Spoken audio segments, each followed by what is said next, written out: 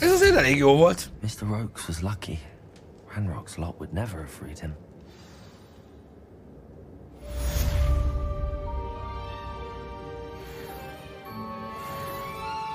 Nem láttatok semmit.